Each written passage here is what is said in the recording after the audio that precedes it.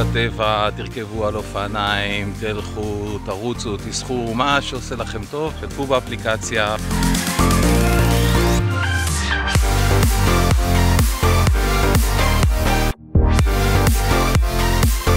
נושמים כל נשימה מנסים לעלות עוד. הפקת האנרגיה צריך לבוא בהתאם למטרה. יש שפע דרכים לקחת את תגובת הסטרס ולהרגיע אותה.